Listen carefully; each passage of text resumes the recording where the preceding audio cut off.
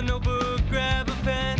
Do your homework and tell a friend. Know all the answers and buzz them in. Who knows it better, you or them? It's the Cooker Classroom. Now let's begin. Now, here's the host of the classroom, Richard Curtis. What up, up, up? What up, Jacob? What? Pow! Ennio, Louise, and my teachers. I love when three teachers dress up together. You guys look awesome. And so do you. Welcome in, guys.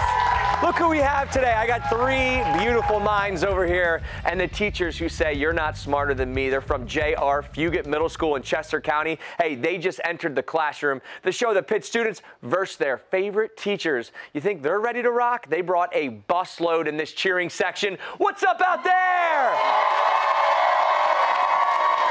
Got signs. They're ready, and I hope you are too, because $500 is on the line. More importantly, these students are trying to say that I am, in fact, smarter than my teacher. Before we meet our contestants, I have to see who studied. It's pop quiz time.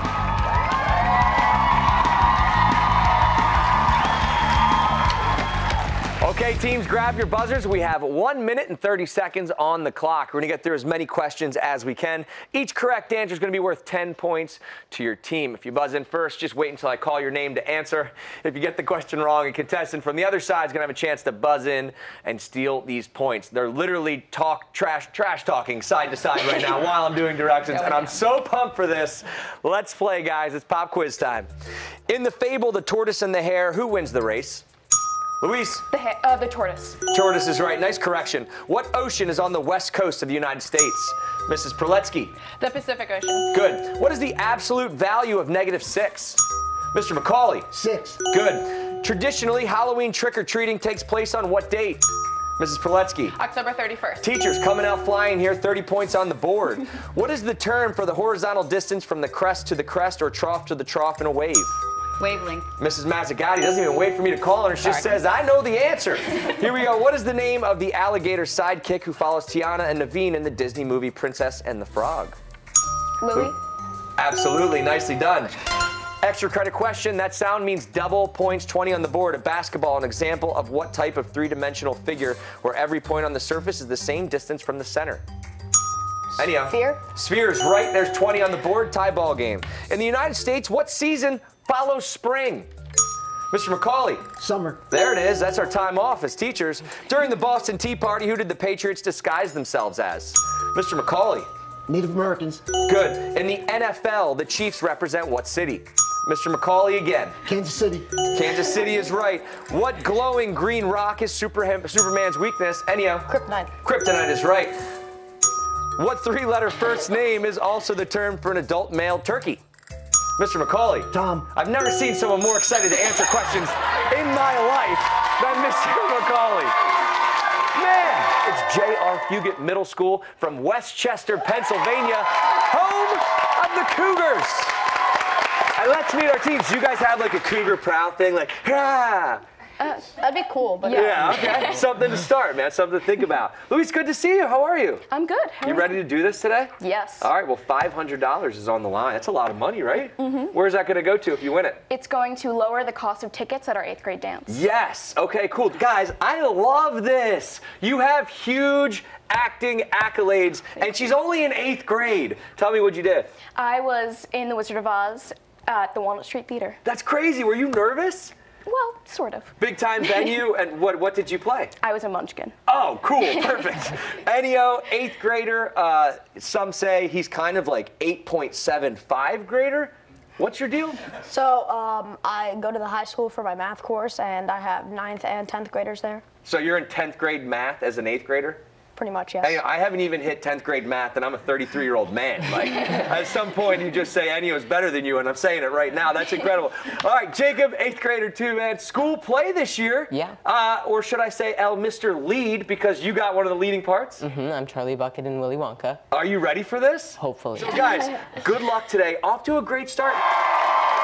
Mrs. Poletsky, awesome to see you. You have uh, two two sidekicks over here ready to take this victory. We are ready. Five hundred dollars is on the line. That's Yes. that's got to be good for something. What do you guys want to put it towards? We want to put it towards a, a school beautification project, paint Ooh. some walls, hang up some pictures of the kids. Nice. Yeah. Maybe uh, maybe Mr. McCauley makeover. Yes, Ah, yeah, ah. Hey, Mr. McCauley. All right. Well, uh, you direct the musical. Yes. And so you casted these two leads over here. I did. I taught all three of these guys, and I have a lot of time this year with Jacob and Luis directing the musical. Well, good luck on, and then the music. I hope it goes you. really well. Uh, Mrs. Mazzagatti, really fun name to say, science teacher. Uh, you put some hours into your hobby. What do you like to do when you're when you're not teaching? It almost seems like it was a long time ago, but I was a private pilot. Whoa. Yes. And you and I'm guessing you never had to crash land anywhere.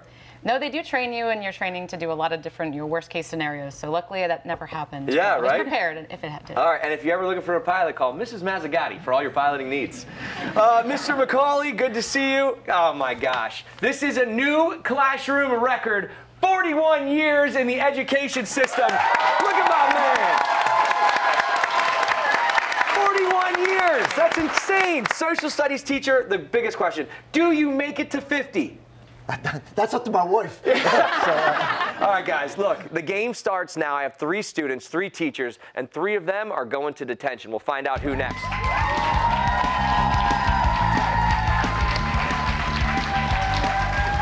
Okay, teams, put your buzzers down. You're going to work together on this one. This is how detention works. I'm going to give the trailing team a category. So, students, we'll start with you. As a team, you're going to have 10 seconds to decide whether you want to play or if you want to pass it to the teachers. If you play, you answer the question correctly.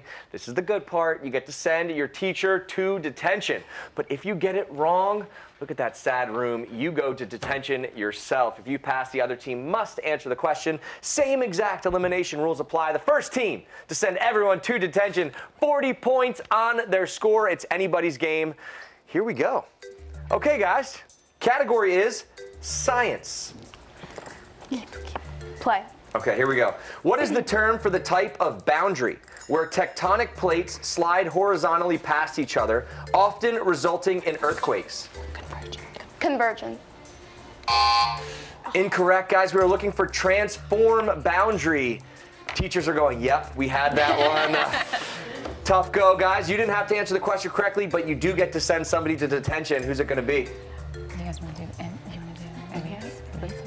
We'd like to send Luis to detention. Luis out of the game. You have to go to detention. I am absolutely 1,000% positive, Luis, you have never been in detention in your life. And I am sure of it. That's not a question, I'm just saying it's right. Okay, teachers, the category goes back to you guys with geography. Yes, we're keeping that. Yeah. 41 years you taught social studies. what is America's first and oldest national park? Yellowstone, I think. Yellowstone National Park. Well, Mr. McCauley named it himself. That's how long he's been in the teaching game. Yellowstone National Park, he gets it right. And that means, guys, somebody else goes to detention as Ennio and Jacob both start crouching, going, Don't pick me. Don't pick me. We have selected Jacob. Jacob, sorry, man, to detention you go. And look at that, two students. We, we're, we're trying to stop the, the landslide here. Ennio. look at this. Ennio, your, your back's against the wall. You feel like you can't get out. And then the host of the show gives you category math. How do you feel about that, Ennio? You pass it, I'm coming over there. Uh, I'm gonna play. Okay, thank goodness. In math, what does the F stand for in the FOIL method that is used to multiply two binomials? First. My man's a 10th grader in math, yeah! Ennio. That's what I'm talking about.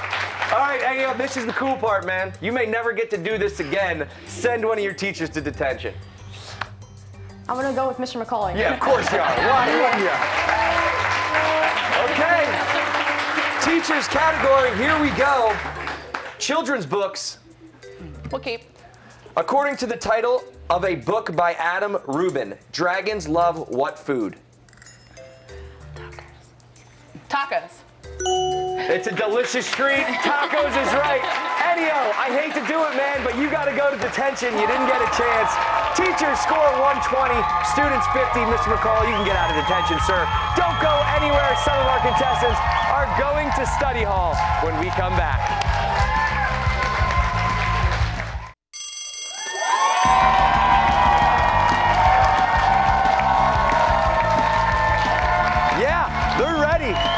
Teachers. Welcome back to the classroom. Today we have students and teachers from J.R. Fugett Middle School in Chester County battling it out right now. The score teachers currently in the lead with 120 to the students 50, but it's anybody's game, especially because it is time for no books, just studying. We're going to study hall.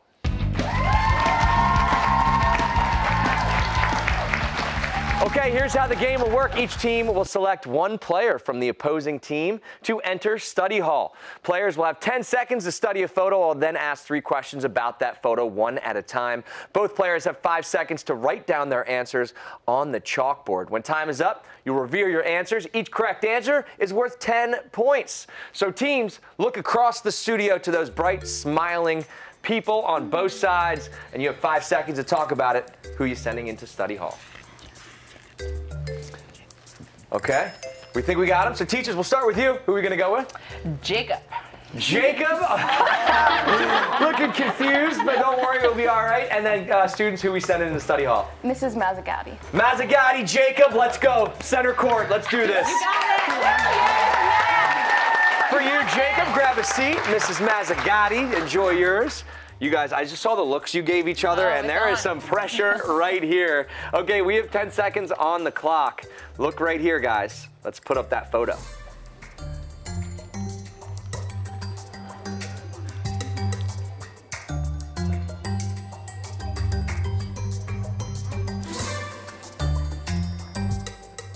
Okay, let's take down the photo from my birthday party last year. and remember, you guys, you have five seconds to write down your answer. Here's the first question What color is the dog's bandana? Start writing.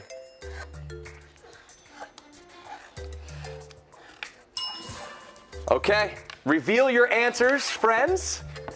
Jacob says yellow. Mazzagatti says yellow. The answer is red, which means no, nobody's getting points there.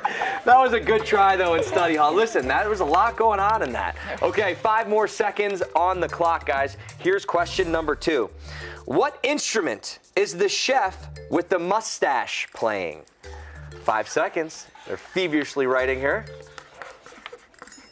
Two different answers, guys. Let's reveal them. We have guitar and drama.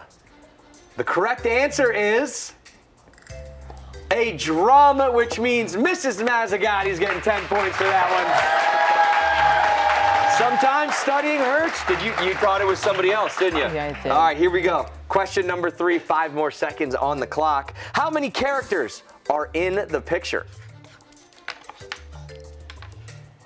Here we go, guys. Let's reveal your answers.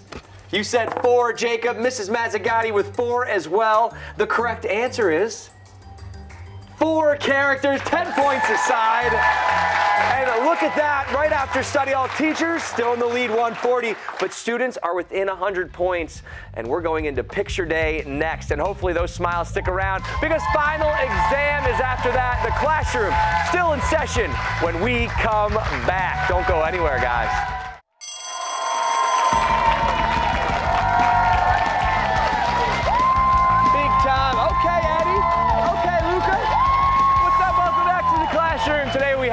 Students versus teachers from J.R. Fugett Middle School in Chester County. Look, you've seen these kids playing the game up here, but check it out. I mean, it's like the brothers galore out here. Who's your brother?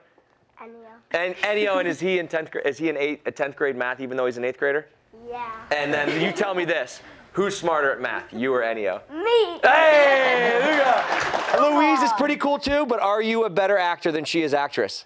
I don't know, maybe. All right, see, he's acting coy. How good is that? All right, right now the score 140 teachers, students 60. Who's going to win? I have no idea. But judging by their smiles, we're going to picture day next.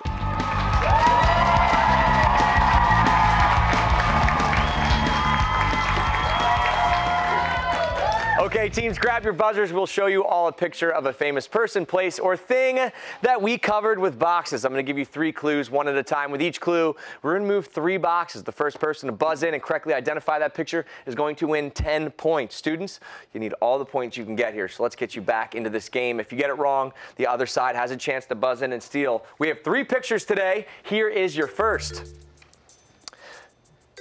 This is all about balancing. Ennio, Jenga? is that Jenga? Whoa, Ennio! Holy moly, my man! Guy looks at nothing on the photo, guesses Jenga. Nicely done, my man. All right, here we go, guys. Picture number two. He took tap dancing lessons as a kid. Mrs. Proletsky, Patrick Swayze? is that Patrick Swayze? Okay, tough guess, Mrs. Proletsky. Student steal, anybody? Buzz in if you want to take a guess. All right, here we go. Clue number two, three more boxes, please. He has been professionally acting since 1999. Mrs. Mazzagatti, Justin Bieber? is that my man Jay Beebs? No. Student steal, tap dancing actor. Don't worry, I don't know it either, and the card's right in front of me. Here, clue number three. Three more boxes. He played Eric Killmonger in Black Panther and Adonis Johnson in the Creed movie, and now everyone's buttons are going. Ennio, Uh, Michael B. Jordan? is that Michael B. Jordan? Yeah, there he is. Apparently, Ennio is on his game this round, two for two, as we move in to picture number three. Here's your clue, guys. This fictional person is a rule breaker. Clue number two, three more boxes, please. She is the daughter of a chief. Mr. McCauley, Pocahontas? is that Pocahontas? Students, you want to take a guess? Look at that picture. Buzz in if you want to guess. No talking. as, as a teacher, I can say that. okay, guys, we're going to move to clue number three. She says, There's just no telling how far I'll go. Mrs. Mazzagatti, Moana. is that Moana? that is Moana, yes! Three students were like, oh man, they knew it. Hey, let's take a look at our scores 150 for our teachers, 80 points for the students. Both teams have 300 points. Still could be theirs. We're moving into that final exam right now.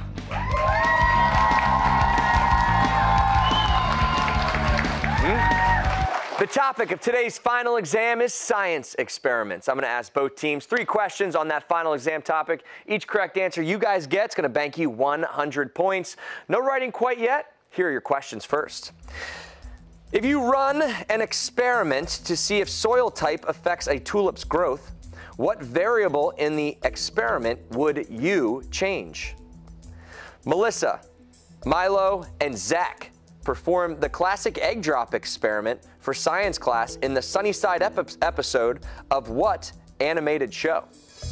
Finally, what is the scientific term for an educated guess, often written as if then statement, which can be tested in an experiment? Okay, we know the questions.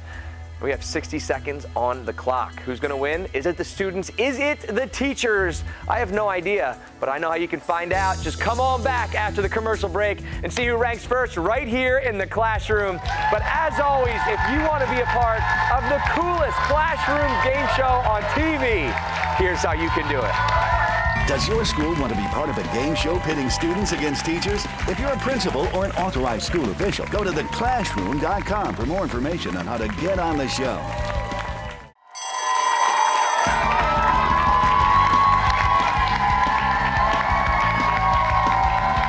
Let's wrap this up. Welcome back into the classroom. Today we have students and teachers from J.R. Fugett Middle School going head to head. Teachers a little bit in the lead right now, 150 to our students 80. But the topic of today's final exam is science experiments. That's so fun. I loved those in high school. Before we went to break, I asked both teams three questions about this, and they're all worth 100 points each. A possible 300 points on the board. So let's get right to it. Someone's going to ace this final exam and get $500 to take back to their school. So here we we go. If you run an experiment to see if soil type affects a tulip's growth, what variable in the experiment would you change?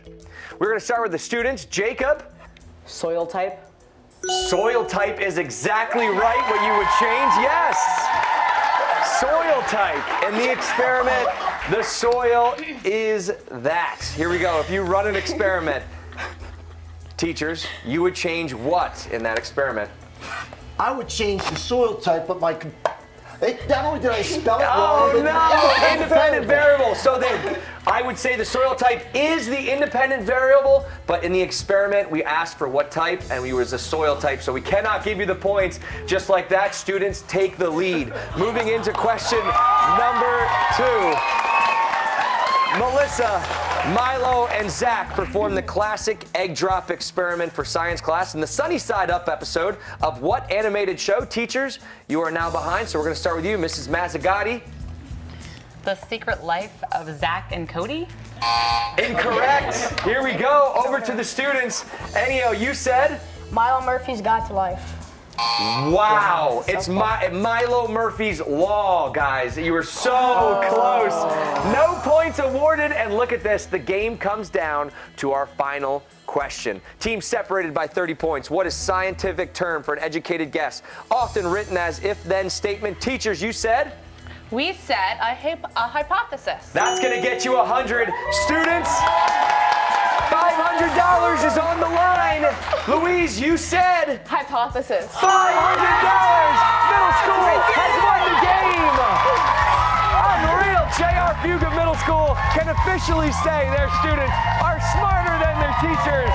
Jacob, Ennio, and Luis are going home $500 richer. Did you guys have fun today? Yeah. All right, tell everybody at home. We'll see you next time in the classroom.